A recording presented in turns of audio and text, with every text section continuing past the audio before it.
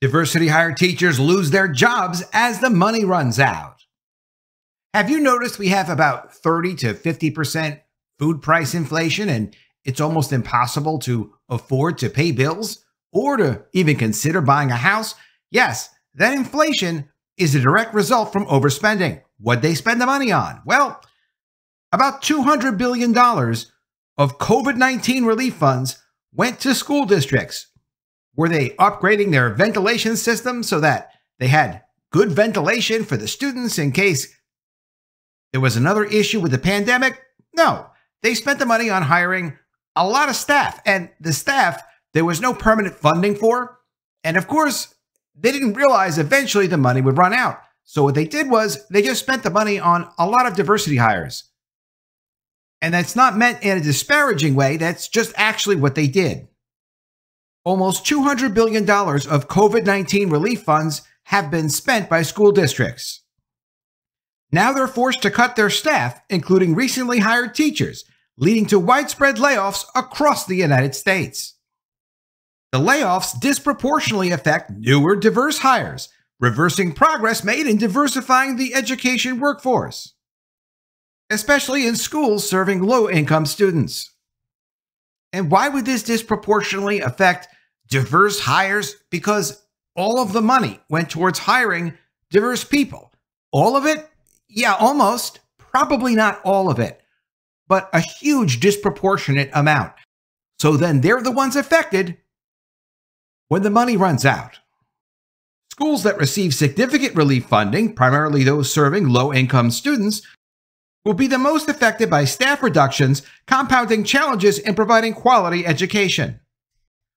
Positions like counselors, restorative justice coordinators. Yeah, we're going to talk about what are you talking about restorative justice coordinators. They have those now. Consider that like a woke guidance counselor, a guidance counselor that thinks you're racist. But also teaching assistants that were added during the pandemic to support student recovery are among the roles being cut raising concerns about the well being and academic success of students. In states with last in, first out policies, which ought to be all states, meaning that if we just hired you two months ago or six months ago, we're not going to fire someone that looks different from you who's been with the school for five years or 10 years because people have been working towards a career. There are a lot of problems with teachers now. The teachers' unions are completely destroying the country. But if you've spent two years, five years, 10 years working somewhere, you should not be kicked out and replaced because they don't like your skin color, your gender, or your sexual preferences. From USA Today, with COVID 19 relief gone, teachers are losing their jobs. It's a blow to diversity. They really took $189.5 billion and used almost all of it to hire teachers that they like their skin color, their sexual preference, their gender. They just, they really went and did that. Yeah, they did. And they didn't even realize eventually they would run out of this money. Erica Popoca's ninth grade English students were livid in the spring when she told them she wouldn't be back to teach this fall.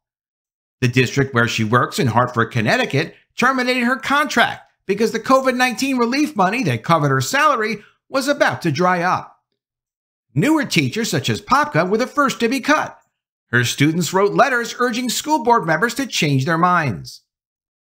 Popoca, the founding advisor of the Multilingual Student Club, worried she would lose bonds with Latino students she had taught for two years who identify with her culturally as a Latina and as one of the few teachers who speak Spanish at the school. So she wasn't the only teacher who spoke Spanish, of course, because all of us going through high school, almost all of us were presented with you need to learn a second language, and we learned Spanish, most of us. The district ultimately came up with other funding to pay her, and in a win for her and her students, officials reversed the layoff. Popoca is among the thousands of teachers and school staffers across the United States at risk of losing their jobs as districts balance their budget and prepare for the shortfall after COVID 19 relief money expires. School districts have been scrambling to put unfunded staffers into different roles. The reality is that many students will lose contact with adults with whom they've built relationships in recent years. This is pretty normal when you go to school and you have a teacher you like, and then a couple of years later, of course, you're not going to stay in touch with that teacher. You move on, and the teacher moves on and deals with other students. The Biden administration granted schools $189.5 billion over the past few years through elementary and secondary school emergency relief funds under the American Rescue Plan Act. School officials have until the end of September to commit the remainder of their money and districts will no longer be able to pay for non teaching staff roles with that money after September 30th.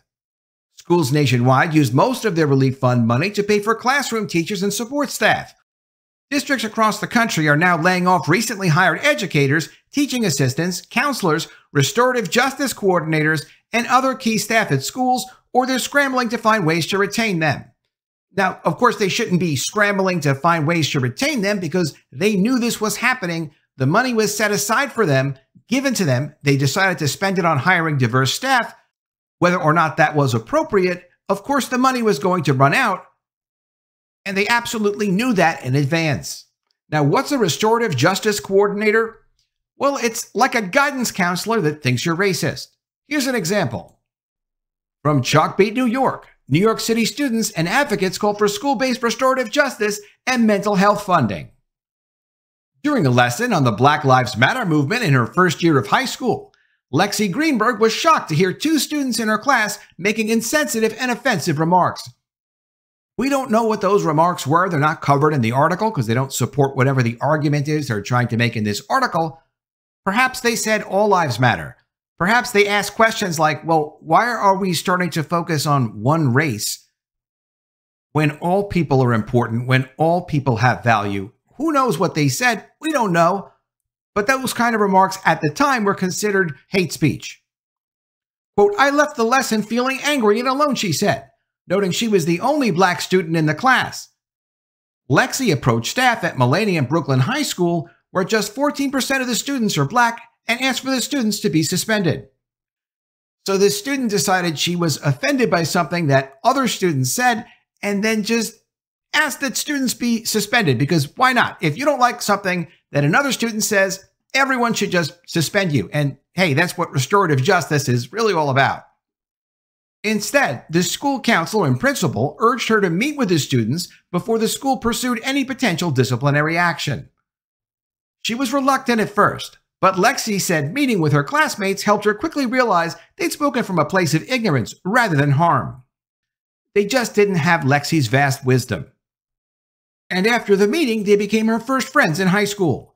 Lexi, now a senior, remains close with those students today and is a founding member of her school's Restorative Justice Action Team. The Restorative Justice Action Team. That gives you a sense of what a restorative justice coordinator does at a high school. A recent survey of 190 school district leaders found that teacher reductions were, quote, the most common budget cut officials anticipated. Conversations about staff layoffs cropped up in at least 28 districts ahead of the upcoming fiscal cliff, according to a tracker of media reports from the Georgetown University based research center Edunomics Lab. The post pandemic layoffs have been widespread. Montana's Helena Public Schools cut 36 positions, including 21 teachers. The Arlington Independent School District in Texas cut 275 positions, including counselors, tutors, and teaching support staff. Newer teachers are the first to be let go in states that allow or require districts to use last in, first out policies, which protect tenured teachers or protect teachers that were there before the other teachers who just came in on the COVID money. Many people terminated will be staffers of color, said Aaron Pallas, a professor of sociology and education at Columbia University.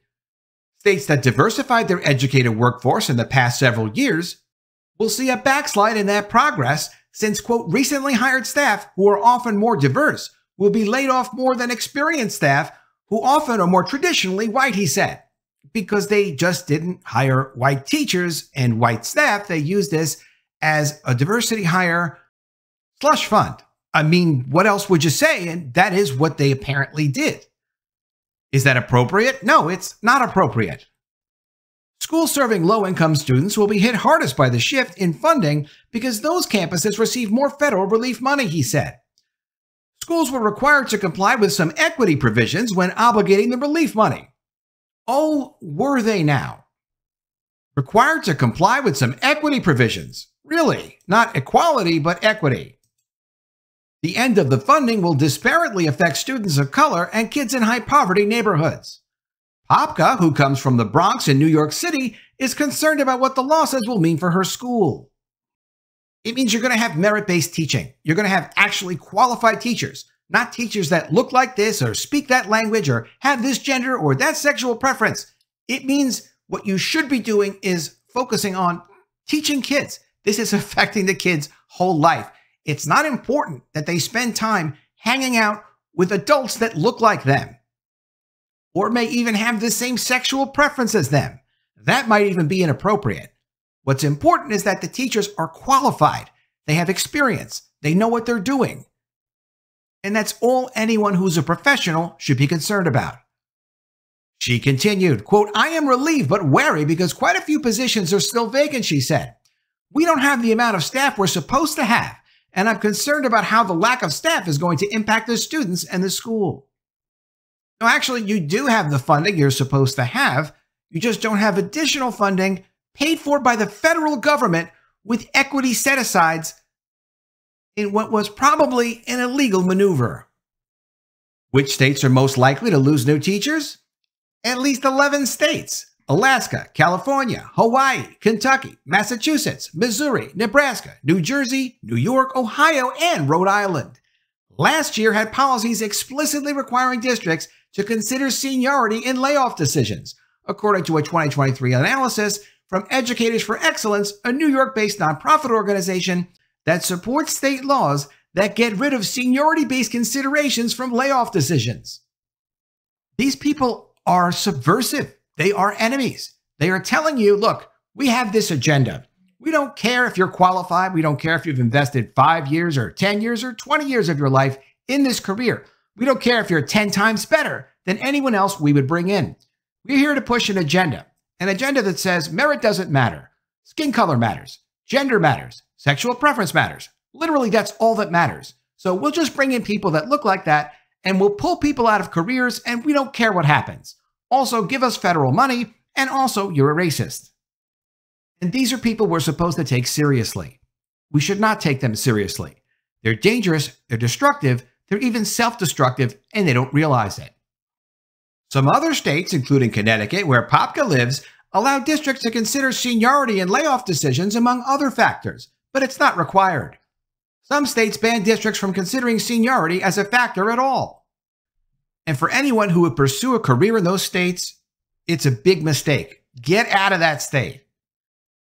Because junior teachers tend to begin their careers in higher poverty schools, there could be cases in which schools lose high percentages of their staff, said Marguerite Roza, director of Georgetown University's Edunomics Lab. Quote, it's really disruptive for students, Roza said, and it's not great for teachers. When Popoca told her class of mostly black and Latino eighth graders last spring that she would be laid off, they were heartbroken.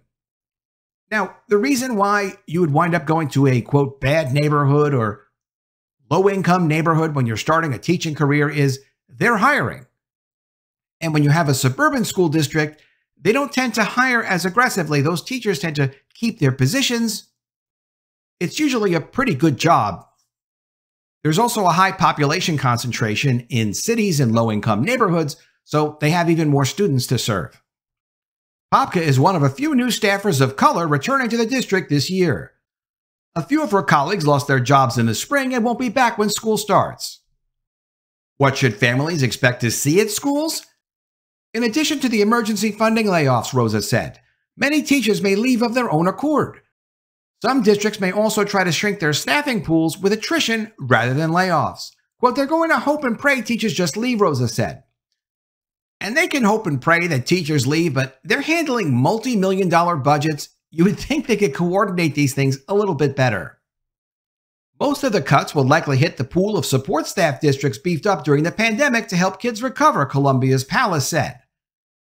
The counselors, nurses, restorative justice coordinators, and teaching assistants added to campus staff in recent years will be gone. And students in their school communities will start to feel that loss by the start of the school year. Francis Pina is one of several staffers and one of the few black men hired by Boston Public Schools to train teachers how to infuse social emotional learning, which is social justice nonsense, into classroom teaching. At the end of last year, he learned his role and the jobs of most new staffers on his team would be dissolved because it was considered a short term position. And of course, he was told that clearly when he was hired. He was also told, 99% chance, the funding for his position was this short term, absurd multi billion dollar giveaway from the federal government with equity tie ups so that he could be hired to do his agenda. Boston Public Schools pay Pina with COVID 19 emergency money through the end of the past academic year. Pina will return as a high school math teacher this year, great, so he can put racism lessons inside of math. But he worries about what will happen to the district's social emotional learning program. When he heard his role was coming to an end, Pina said he was nervous because he felt it was really important to support students still facing pandemic related academic, social, and emotional setbacks. He said students in the district haven't worked through all of those losses, even if the district has gone back to the status quo. As a black man who attended Boston public schools, he believes he offers a unique perspective to kids, including black students, and helps them thrive academically and emotionally at school. But prioritizing this is important, Pina said. Kids need to know we care about them. Kids should have a sense that you care about them. And if you care about them, it does come across to the kids. You simply have to take an interest in them. You don't need to look like them. Teacher diversification will face a setback. Diversity among the teaching staff has improved in recent years in Massachusetts, where Pina teaches. Are they qualified? uh, it's not important. Uh, we just want to make sure they look a certain way or have a certain sexual preference. That's all we're concerned about in this article. But the state's last in, first out policy means schools will lose diversification in the workforce. That's a problem considering students of color are the majority of public schools in the U.S. Nearly one fourth of public schools did not have an educator of color on staff, according to a May analysis of state by state data from TNTP, a nonprofit organization focused on the needs of students of color and those in poverty. So they're a race based organization focusing on race based things for certain races. Well, only one race. Academic studies show students of color perform better academically when they have teachers from diverse backgrounds. Actually, I can tell you that academic studies show that when you have a competent teacher who actually does take an interest in their students and isn't trying to leverage what they look like as part of their lessons, they do a lot better. The students do better. The teachers do better. And you create a community of teaching and learning that continues from year to year and spreads out among the classrooms. One excellent teacher can help make an excellent school. And skin color doesn't provide for that. To stave off losses and rescind seniority based layoffs, some lawmakers tried to change how layoffs work. But they ran into pushback from the state teachers union, which said the policies harm protections for senior educators. Well, clearly, yes, it does harm senior educators, educators who've been in the system and put their time in, and they're part of the teachers union. So at least now the teachers union is getting pressured and saying, look, you've got to get rid of your teachers. You, you can't just have teachers who've been there for years and know what they're doing. We need to bring in new teachers that look a certain way or have a certain sexual preference. So you just go ahead and tell your union members that. And even the teachers union has to say, look, we are pushing a lot of nonsensical agendas right now, but this is one that affects teachers financially, personally, and affects their retirement. They're not going to go for that. We can't force that on them yet. In March, the Massachusetts legislature rejected sections of education bills that would have removed seniority considerations as the sole factor for layoffs. Well, while we are happy to see the legislature taking strides to improve teacher diversity in Massachusetts, it is disheartening to see that the Education Committee chose not to prioritize protecting these very educators in the event of district layoffs, according to Lisa Lazar, Executive Director of Educators for Excellence Massachusetts chapter saying this in a news release. More new staffers of color are expected to face layoffs this year, Roza said.